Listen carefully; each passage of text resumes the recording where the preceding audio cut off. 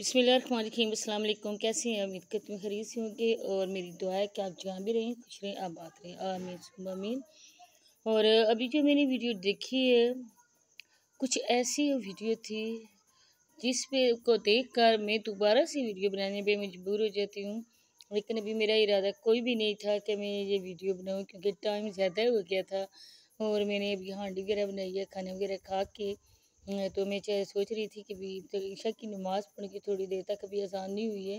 लेकिन जब मैंने मेरे सामने वो वीडियो आई है तो उस वीडियो को देखकर मेरा इतना ज़्यादा खून खोल गया। तो मैंने सोचा कि मैं अपने ख्याल जो है ना, अपने बहन भाइयों के साथ भी शेयर करूँगी। तो चैनल जी टॉपिक की तरफ़ बढ़ने से पहले आप लोगों से छोटी सी रिक्वेस्ट है कि जो चैनल पे आए, चैनल चैनल को सब्सक्राइब भी करते हैं, वीडियो को लाइक करें शेयर करें आपकी बहुत बहुत मेहरबानी होगी तो जी, जैसा कि मैंने बताया है कि नहायत आयात लोगों की दो वीडियो आ जाई हैं।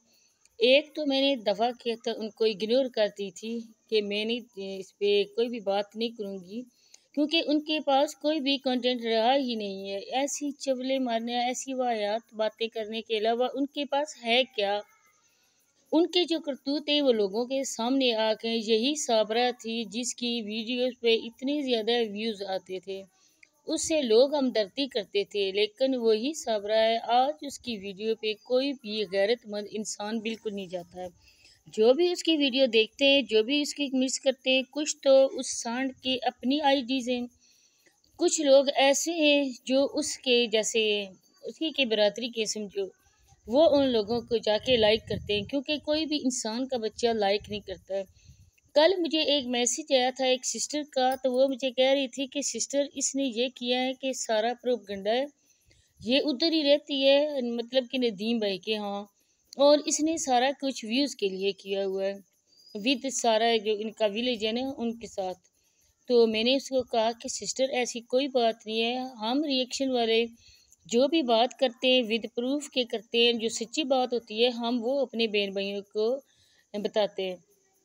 तो उसने कहा था कि निकाह पे निकाह करो तो कौन ऐसा गैरतमंद होता है इंसान जो इनको उस विलेज से न निकालता? तो बस उन लोगों की मजबूरियाँ थी, सिस्टर।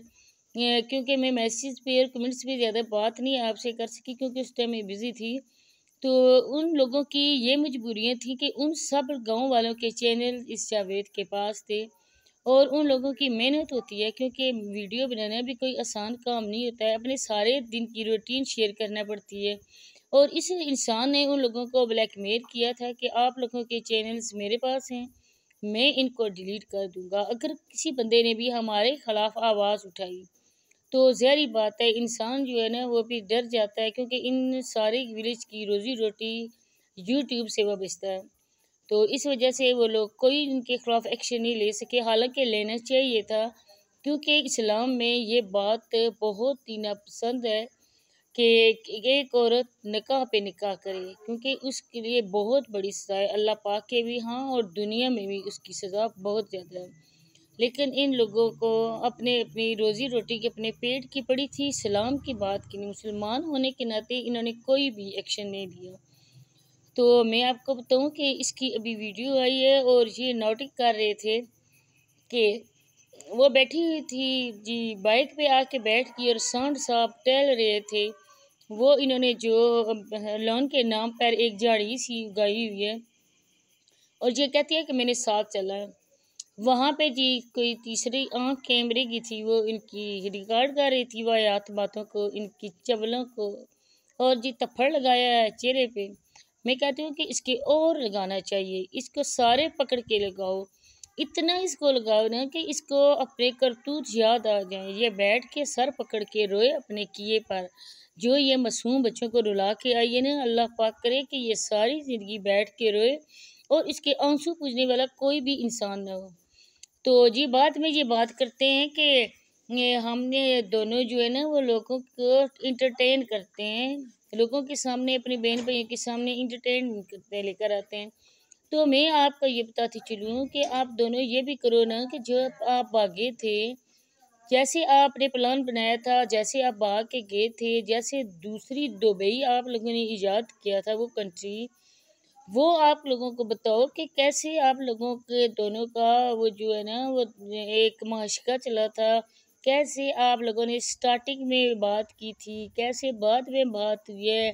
कैसे मामू से जावेद बन गए कैसे चाचा से आके ये अब दिलबर बन गए ये भी आप लोग शेयर करो तो हो सकता है कि आपके जो चाहने वाले हैं, वो ज़्यादा इंटरटेन हो इस बात से।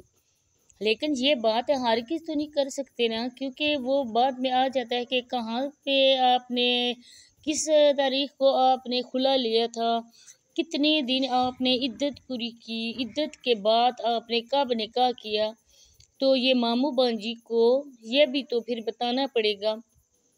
तो मैं कहती हूँ, इतनी बेशरम औरत है, इतनी ज़्यादा बेशरम औरत है ना कि पूरे पाकिस्तान में भी कोई ऐसी औरत हर नहीं होगी। ये अंदर गई है और कमरे में कहती है, कमरे की अभी सवाई की है और लस्सी के साथ ये नाश्ता करती है। जो इसी औकात है, वो ये लोगों को दिखाती है। और उन्होंने ये बोला है सांड साहब ने ये बोला है कि ये चारपाई सिर्फ़ दो महीनों के लिए हमने कमरे में रखी है, दो महीनों। इसकी क्या तुक बनती थी? इसका बताना क्या बनता था? हमारे तो ये क्या अब कहें कि इस बात की क्या वजाहत आपने की है कि चारपाई सिर्फ़ दो महीने के लिए क्यों रखी गई है? क्या आप ये बात की वजाहत कर सकते हैं? और फिर जी, ये कहती है कि समाव्या मुझे बदतमीज़ी मेरे से करती है।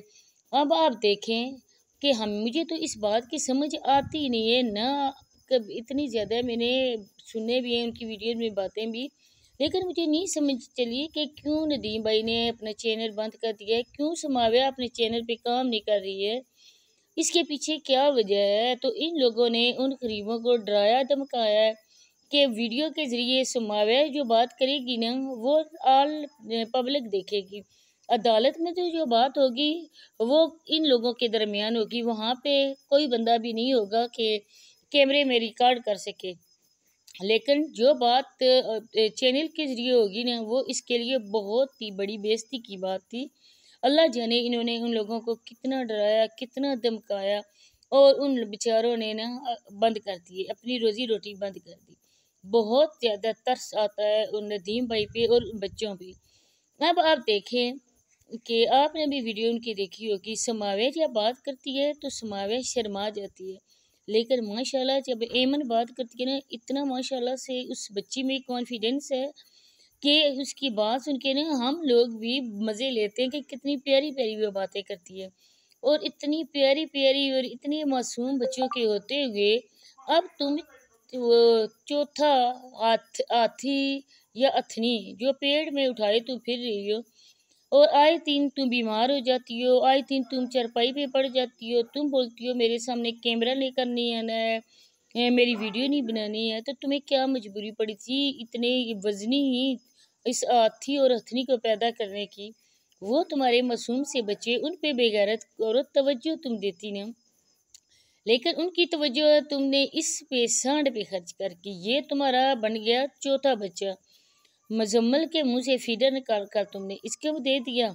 ये तुम्हारी औकात रहे कि जवान होती बच्चियों के सामने जब तुम ये गुल छड़ी इसके सांड के साथ उड़ाओगी ना तो वह बच्चियाँ और बगावत पे उतर रहेंगी तो अभी जो वीडियो आई है, अभी वो माफ़ी मांग रहा था। बहन भाइयों के सामने ऐसी चवले मारते हैं, इतने चवले मारते हैं।